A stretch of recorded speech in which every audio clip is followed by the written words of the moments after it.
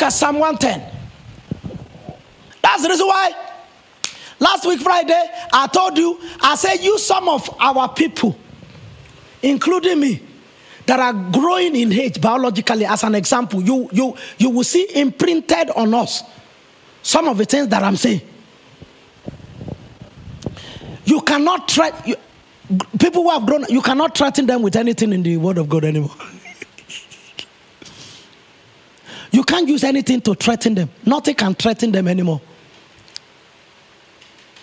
She said, The Spirit of the Lord is moving here. They have seen many move of the Spirit of God. They just say, "Mm, uh, Pastor, finish what you want to finish. Let me. They have calculated their life and mapped out their strategy in such a way that where they put God is where God belongs. Sit down very well.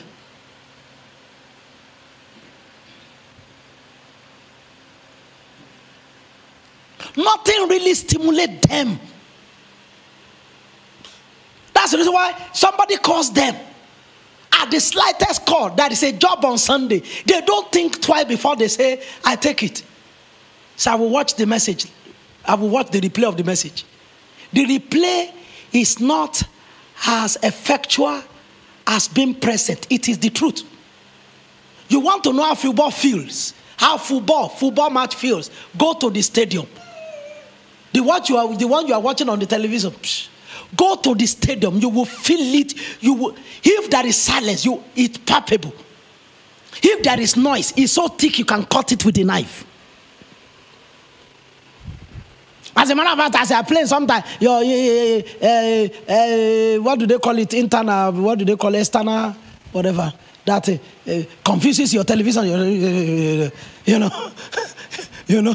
But in the stadium, you are watching them like this. You are watching every gesture. You are watching everything. That's the reason why you see football was not sweet anymore during COVID 19 lockdown. Even the footballers were not coming in with styles, with hairstyle. They just play anyhow. And they will play once, they will say, I have COVID. They will not come back six weeks. But this one that they know that there are stakes on them, that are, their family members are coming to watch them. You see the way they style their hair and everything. There is something about gathering in the presence of God with the people of God, doing the minutest things that they can be done, which translate to the mysteries of God being unleashed on people. And there comes a time people say it's not about gathering, it's not, uh, you know, I can get God anyhow. You cannot get God anyhow. I, I bet you you cannot. I always have case studies over everything that I, that I want to propound theories about, and I place them before me. Case studies that I place before me. I look at the life of Adeboye. I look at the life of Kumuyi. I look at the life of Oyedepo. Look at the life of Wale Oke. I look at the life of Chris. And I say, these people have conquered all spheres of life. Many of them are scientists. Pastor D.K. Olukoya is not longer Dr. Olukoya, a professor, he's Professor Olukoya. He still practice what genetic, he has his PhD in genetic, whatever. Eh? Genetic something. He, he lectures that thing in the university. He has a university. Mountain of Fire Miracle has a university, common top universities. I don't mean Christian university. I mean university. Redeemer's University of the Redeemed Christian Church of God. He's swing from Pastor Adeboye. He's re university. It's not Christian Bible School University. Covenant University is one of the best universities on earth. Precious Cornerstone University by Bishop Wale Oke. Pastor Chris has several institutes everywhere. Has a university in the Republic of Benin. Stanley without putting his name. But he's the, he's the chancellor of the university in the Republic of Benin. Mr. Tit.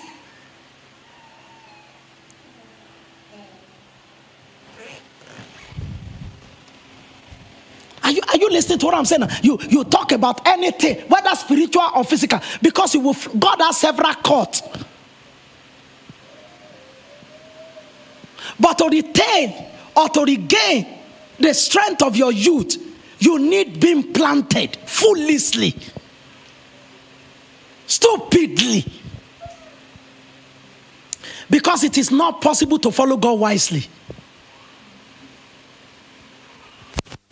Lovett, you heard me. It is not possible to follow God wisely. If you keep telling all your parents the kind of money that you give to God, they will stop you and your destiny will be stopped. Somebody kept telling the mom, and the mom called me one day. Uh, they get home around 3 a.m. It is not possible to really be engaging God that you will not have some night time. Whether night out in the night vigil in the church or night time where you are praying and they say you are supposed to sleep. Jesus stay all night praying. Some other day, early in the morning. Some other time in the evening. Because God can define you at any point in time. Wise people don't follow God. Only dead people follow him. You can't follow God with wisdom. We follow him by faith. Faith and wisdom are not two, are not the same things. They are word and opposite. Many of the times don't doesn't have fact. Because the Bible says hope that is sin is no longer hope. How can they tell somebody, leave your father and your mother to the land that I will show you, not to the land that I've shown you? First of all, let me see it on the map so that I compare and contrast with where I am to see which one is better.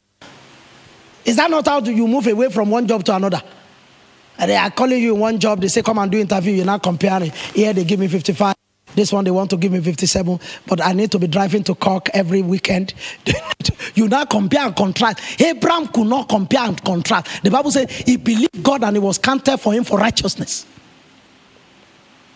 God, you will have to follow God by faith, which is the foolishness of the Spirit. And the foolishness of God is wiser than men. The foolishness of God that you will follow is wiser than men.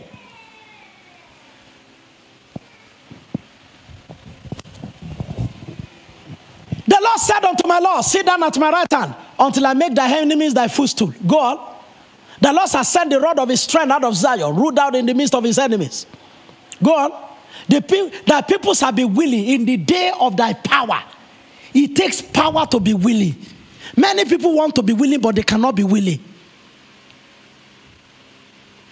I was watching a boxing bout, and Mike Tyson was the one analyzing it. And they, they, they, they, that, that robust uh, Mexican boxer hit Joshua, the first person that inflicted Joshua, Anthony Joshua, with his first ever defeat in the United, hit Joshua in the temple. And uh, Joshua wanted to respond back to be, but his body was tearing apart. You know, and Mike Tyson said, you know, when you get point, you, your brain wants to coordinate and hit back. He's actually, he said he's conscious of what he's doing. He want to hit back. He said, but the body is going in another direction. He, the person now came back, give another one, and he's still trying to do. He, he, in his mind, he knows that the person is bringing a punch and he wants to dodge it, but the body goes to say, "Give me more." you will just come to a point in life and you discover that you want to be willing, but you cannot be willing. And if you're willing and obedient, you shall heed the good of the land. Isaiah 119. He come, I want you to listen to me. He comes to a time you want to be willing, but you cannot be. He said it is in the day of your power that people shall be willing. And then he now say, in the beauty of holiness from the womb of the morning, thou hast the dew of thy youth.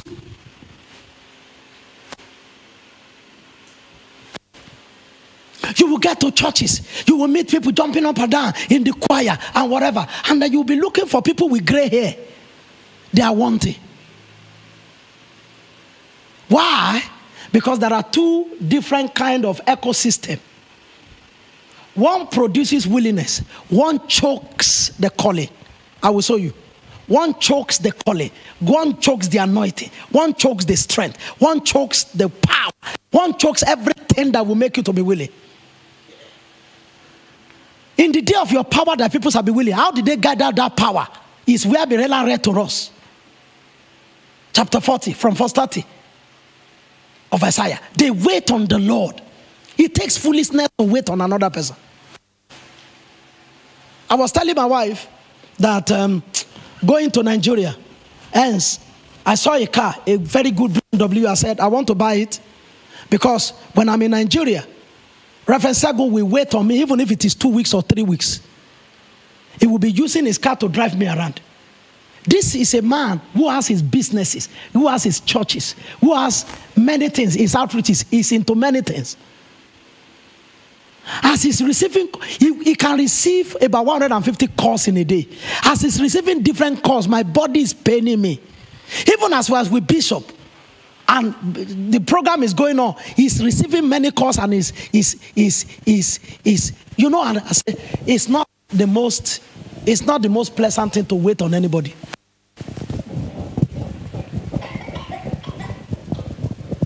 It's not the most pleasant thing to wait on anybody. You understand what I'm saying? It's to wait on anybody. And the Bible says, Those that wait upon the Lord, He takes foolishness of faith to wait upon God. Somebody once told me, say, eh, You're just asking us, come to the church every day. What shall I eat? What shall I drink? What shall I do? Whatever. What shall I do this? What shall I do that? You know, and the Bible talks about that in Mark chapter 4. Let's see from verse 19. Mark chapter 4. There's an ecosystem that produces power that leads to willingness to retain or regain your youth. There's another ecosystem that chokes the source of power, the source of strength. So, even if you want to be willing, you cannot, even though you like to be willing. Look at it. Go from verse 18. Go from verse 18. Go from verse, let's let go back a little bit. Okay, yo, these are the day which are sown among tongues, such as hear the word. Are you listening to me, Mercy? They have the call of God also. To even go to the place where you will hear the word of God is because you want it, you like it. They heard the word. Go on. They accepted the word. They want the word to work, but there's an ecosystem. What is this ecosystem? Look at it. And the cares of this world. I want you to read it very well. I'm not the one who spoke it, it is Jesus. You have to be able to learn how to separate from existential matters from the cares of this world. And sometimes, even existential matters, matter over which man really exists, and that without which the life of a man is not really worth living. There are times they turn to the cares of this world. There's a thin line in between. Somebody was asking me, I said, oh, yeah, if I want to be coming for morning prayer, if I want to be coming for this, so how do I do it with my children, with my this? I said, they may be sleeping. I said, the children that are sleeping today are the one that will give you sleepless night tomorrow.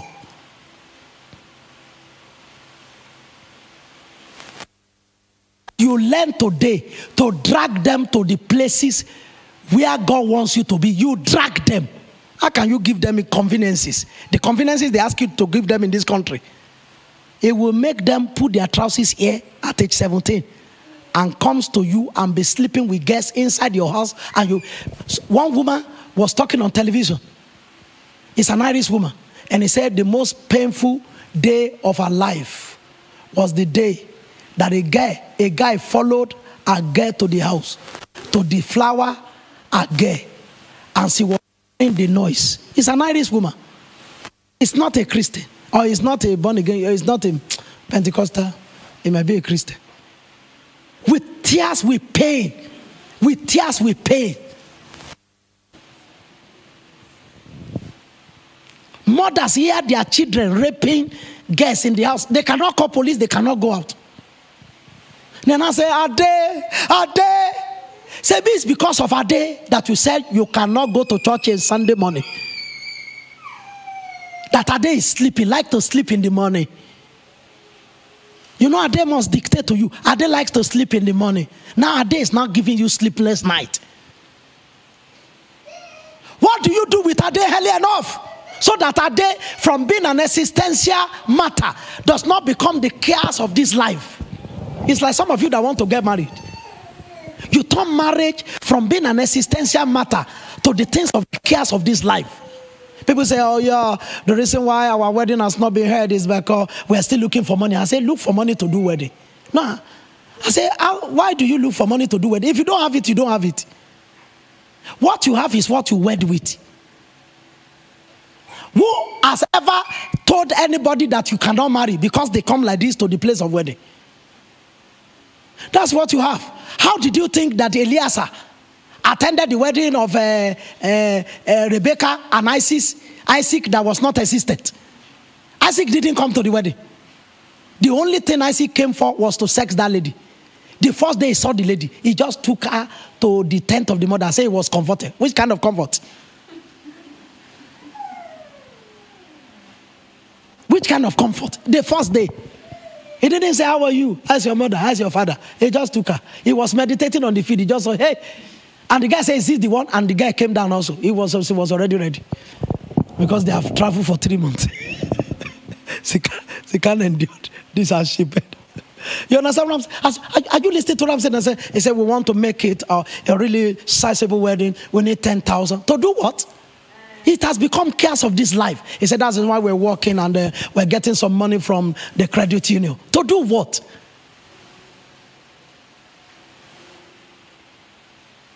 Our wedding was held inside our church. The most important part of our wedding was inside the court. And we already prayed there and took Holy Communion. It's people that force me that we must do in the church. It's the pastors in this city. They say it's not good. I say, okay, come and do. And it was a Sunday service. It was a Sunday service that we were doing it and we danced and they, and they take offering for church. Inside our church, that you go and look at the picture of the wedding. Wedding doesn't make a marriage. It's marriage that makes wedding beautiful. No matter how beautiful your wedding was, if your marriage is ugly, the wedding is not good. Everybody will be cursing the day it happened. But because marriage is good, you know, so or when we got married, I only bought a ring of five euro for my wife. Everybody now wants to use that style.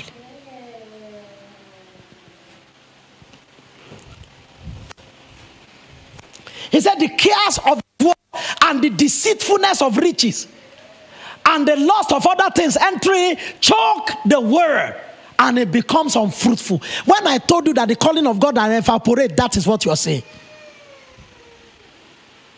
Are you here with me? What did I tell you calling can do? Can evaporate. The calling of God can, the calling you are feeling when you got born again. He said, Hold fast that we have, lest another man take away your crown. It is that little thing you are holding to, like the jihad on. As soon as he got born again, he discovered he could play keyboard. He's been playing keyboard for us at GMIT since he got born again. He's been part of the executive since 2015, since early 2015. He's been part of the executive. It will be 10 years next year.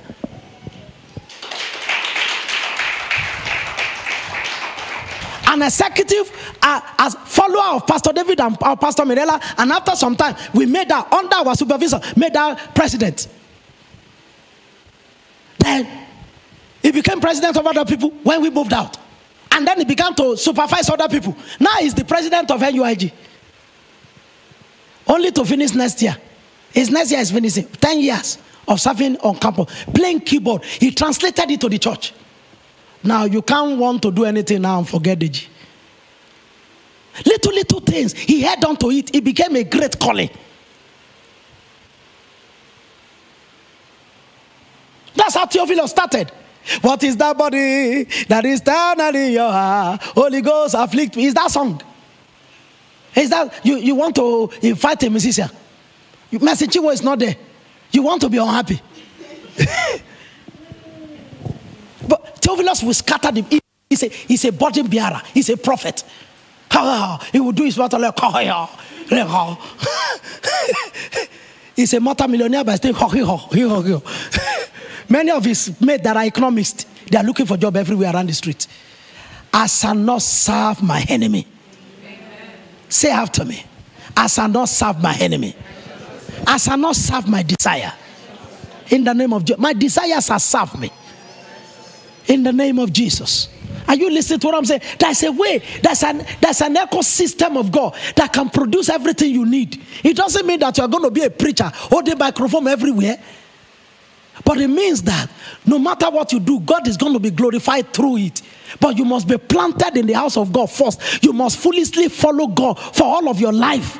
To, re- to retain or regain your youth, you must be a child forever. When you begin to grow out of childhood in Christ Jesus, just know that something is wrong.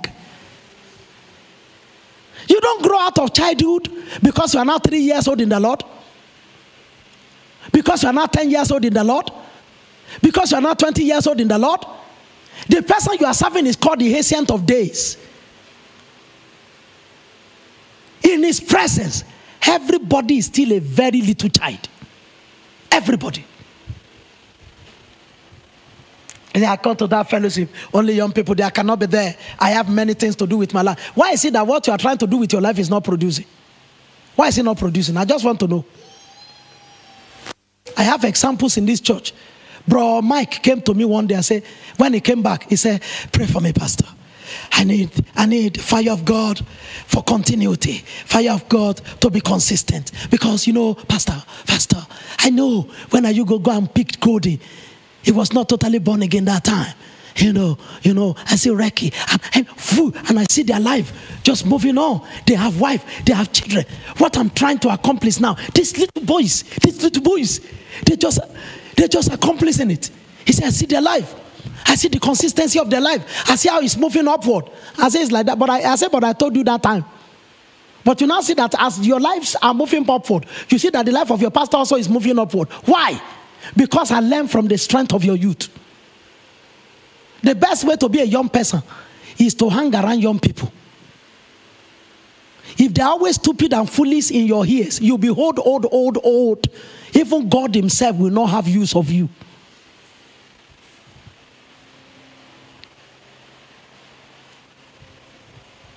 How a coach, 82 year old coach, retains his youth is that when he can no longer play football, he becomes a coach. Whether he knows it or not, he will still be playing. Only on the sideline. Because I say, yes, yes, yeah, they say, hey, Ture, pa, pa, hey, Sometimes they pass the ball to him and the sideline, he races, he races. That's when you know that the skill is still there. They pass it. but as he see them moving his leg, moving their leg, he's trying to move his own leg also. It's very hard for him to not be on the wheelchair. Very hard. But from the moment you, you hang your boot at 31, you say, oh, uh, it's a lot of difficulties. You start drinking. You'll be like Yokozuna. The next time they will see you, they will think it's elephantiasis. That is your problem. Don't you see Ronaldo? Ronaldo 9, R, R9. Don't you see Ronaldinho? Ronaldo has now come down now because he bought a club, uh, you know. But he just became so big. Ronaldinho also. I will look at him and I say, Is this Ronaldinho? I'm older than him by age. I'm older than him. He just go to club and he's now becoming, if you see each of the legs, I say, oh, it's not in my lifetime you are supposed to be like this. But you see people like Zinedine Zidane. His head is still in football. The tricks are still there. He still stays slim. What about Arsene Wenger? That Arsenal coach, maybe that guy is around 82. They were playing football somewhere recently. If you see the way he nutmeg this uh, Zinedine Zidane.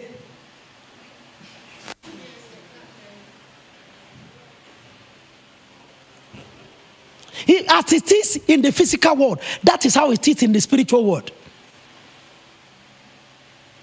Only an old man, look at it. Ecclesiastes chapter 12. He said, I have no pleasure in them anymore. For God to use you, you must be fillable on daily basis. Not that you are filled. God doesn't fill the field. And you know a fool is always full. A fool. A fool, F F O O L, is always F U L L. A fool is always full, he's already satisfied, he's already filled to the brim. And you don't feel the fuel, the field or the fool. You must come before the Lord and ask God, "Ah, in which ways will I get involved? What else do and there is there are always works if you are a laborer.